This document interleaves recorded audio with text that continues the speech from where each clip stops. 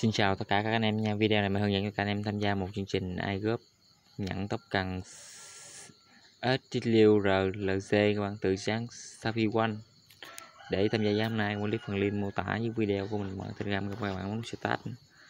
Sau khi bấm nút start xong các bạn bấm bạn cho anh chào kênh group kênh trailer các bạn rồi các bạn lướt cấp cha sau khi lướt cấp cha xong các bạn bấm join iGroup này các bạn rồi các bạn bấm pocket này nhiệm vụ đầu tiên các bạn follow từ Twitter được viết trên pinbot nè.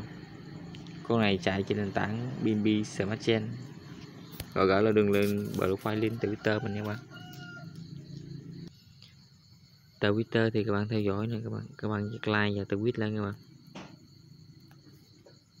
Rồi sau khi like và từ tweet, các bạn mới đáp lại. Các bạn mở từ Twitter mình ra nè.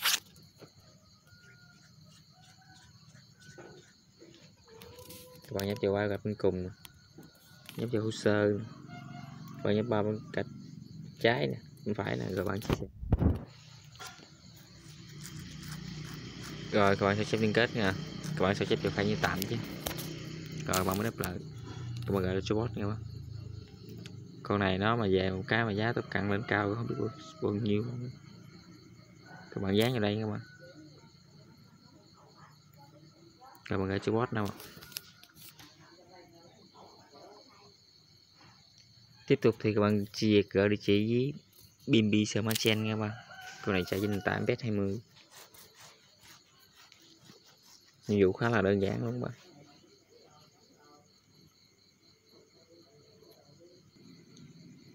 Các bạn copy ờ, địa chỉ ờ, bimbi Smart Chain này giúp mình các bạn. Giá bimbi lên khá là cao luôn các bạn. Rồi, các bạn gỡ địa chỉ bimbi về đây.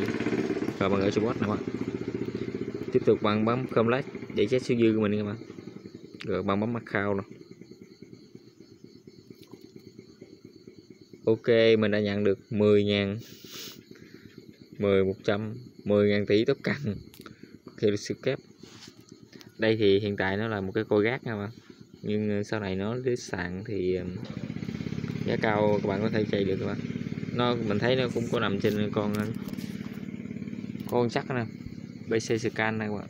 Nó có website, có thông tin đầy đủ cho các bạn. Ok, vậy mình đã hướng dẫn các bạn tham gia chương trình này góp nhận à, 10.000 tỷ tóc cần à, có thể là SPKRD cũng kết thúc. Mình à, chào tạm biệt tất cả các bạn. Hẹn tất cả các bạn những video clip tiếp theo của mình nhé.